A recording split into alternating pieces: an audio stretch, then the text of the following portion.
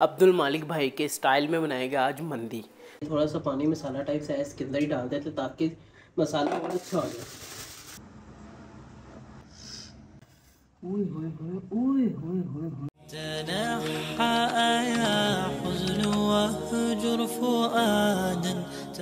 Aslam guys उम्मीद आप सब खैरियत से होंगे। रिसेंटली मैंने एक वीडियो बनाई थी जो उनसे इधर चल यार, मैं अब्दुल मालिक भाई की मंदी वाली वीडियो देख मेरा मंदी खाने को इतना दिल किया मैंने कहा अब घड़ी बनानी पड़ी है। यार मैं बाज़ार से बीफ का बड़ा सा पीस लेके घर आ गया। वो अच्छी तरह कट्स लगाए घेरे से और इसके इस वीडियो के कमेंट में ना बड़े लोगों ने कहा, यार, मंदी बनती है तो बीफ की नहीं, मटन की बनती है।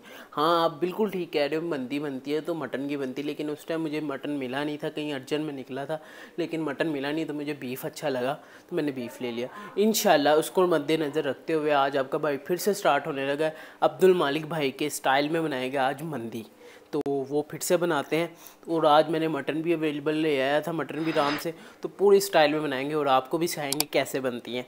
तो तब तक वीडियो को लाइक और चैनल जाके आपने सब्सक्राइब लाजमी कर लेना। जो भी पीस लें सबसे पहले उसे फ्राई करें ताकि उसके अंदर से स्मेल खत्म पीसों में मैंने यार एक सीने का दो पुट के पीस लिए आपको गोश्त के अंदर कौन सा पीस पसंद है मुझे कमेंट में लाजमी बताना आप कौन सा मर्ज़ी पीस ले सकते हैं। इसके बाद यार ये दही के अंदर मसाला जार डाल के ना ये मसाला इसका बनाया था दरा मिर्च लाल मिर्च काली मिर्च नमक वगैरह एक्स्ट्रा डाल के ना तो ये मसाला बना के इसके ऊपर अच्छी तरह मसाला लगा देना और इसके अंदर ना छोटे छोटे कट भी लगा देना पीसेस के अंदर। मसाला बचना नहीं चाहिए इन्हें अच्छी तरह सीने के अंदर तो लाजमी इसके अंदर थोड़े से गहरे कट कीजिएगा ताकि इसके अंदर ना मसाला अंदर तक जा चुके और अच्छी तरह टेस्ट आ चुके बाद में। जब इसे अच्छी तरह मसाला लग जाए तो आपने एक दिन के लिए इसे फ्रीजर में रख देना है। 2000 years later एक दिन हो चुका है, मसाला लगे हुए होड़ी मसाला अच्छी तरह रच चुका है। जो उनसे हमने इसके अंदर कट्स लगाया ना, उसकी वजह से मसाला अंदर तक जा चुका है।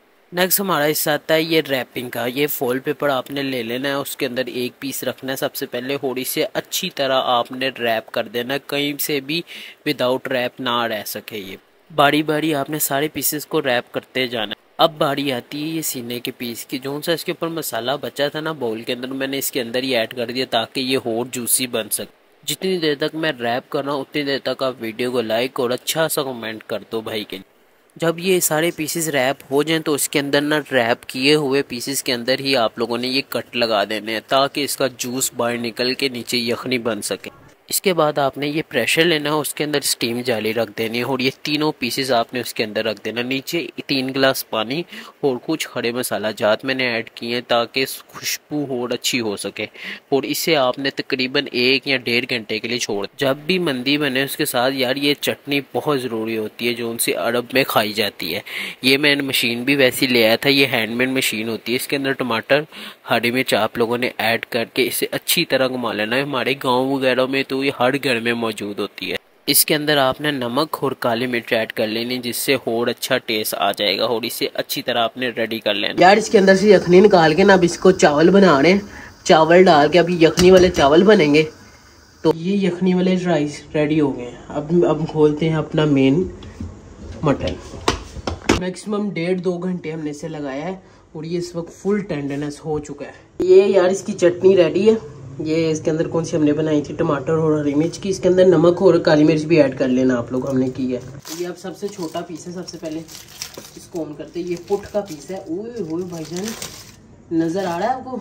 हड्डी से ही जुदा है। अभी जब आपको प्लेट डिश आउट करते हैं, उसके बाद इसका टेंडरनेस दिखाता हूँ मैं आपको। आ चुका है सबसे बड़ा पीस फुल टेंडर अब आपको इसको खा के दिखाता हूँ क्या टेस्ट है इसका।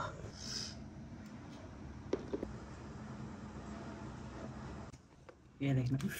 ओए होए होए फुल टेंडर ये देखो। ओहो, ये हड्डी ये देखो। ओए होए होए, ओए होए होए होए होए होए भाईजान ये देखो। फुल टेंडर अब इसे ट्राई करते हैं। ये देखो। ये फुल गोल बोटी है गोलिस है, और ये है पूरी पोट। ये है हाय हाय हाय भाईजान बिस्मिल्लाह करते हैं सबसे पहले। और ये चावल भी यखनी वाले।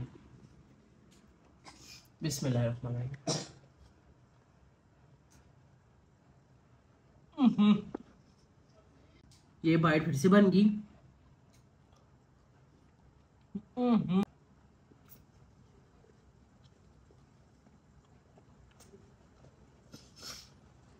जोन सा हमने इन पीस्तों को मसाला लगाया ना, वो अंदर तक रच चुका।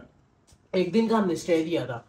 तो उसके बाद ये अंदर तक रच चुका और ये हड्डियों से जुदा है गोश्त और मुँह में जाके ना गोश्त घुल रहा है यार। और टेस्ट की बताओ ना, जो सा हमने इसको मसाला लगाया, दही के अंदर तो जैसे वीडियो में भी देखा होगा, दही के अंदर हमने मसाले मिक्स किए थे। स्पाइसी था और ये बहुत मज़े का, और चावलों में, चावल हमने यखनी वाले बनाए जो सी? इसके अंदर से ही निकली थी। और वो टेस्ट को, वो टेस्ट को ऐसे बढ़ा रही है यखनी वाले राइस ओए होए होए होए बहुत कमाल। जैसे अब्दुल मालिक भाई के मैंने देख के ये बनाई है। पहले मैंने बनाई थी वीडियो स्टार्ट में आपने देखा होगा कि पहले मैंने मंदी बनाई थी जोन सी बनाई थी मैंने बीफ की। लेकिन इस बार मैंने मटन की बनाई है। स्पेशल ये दो पीस, तीन चार पीसेस में लेके आया था अपनी मर्ज़ी के। और ये बहुत कमाल बनी है यार, बहुत आला टेंडरनेस दिखाता हूँ, ये देखना। ओए हो ये देखो। ये देखो। हड्डी, गोशे जुदा है, ये देखना। ये लो। ये देखो, हड्डी गोश्त से जुदा है। ये देखना, ये फुल टेंडरनेस है और इसके ऊपर जो सी हल्की सी, जो सी चर्बी लगी ना, ओए होए गोश्त का अपना टेस्ट उसके बाद जो इसके ऊपर मसाला लगा, उसका टेस्ट ओए होए भाई जान बहुत आला उम्मीद है आपको वीडियो पसंद आई होगी। इसे लाइक चैनल जाके सब्सक्राइब और अपने भाई को दुआ में याद रखना। और मेरे इंस्टाग्राम को जाके लाजमी फॉलो करना टिकटॉक फेसबुक सबको जाके फॉलो लाजमी करना। और वीडियो को लाइक और कमेंट में अपनी राय लाजमी बताया करो आपको वीडियो कैसी लगी। अल्लाह हाफ़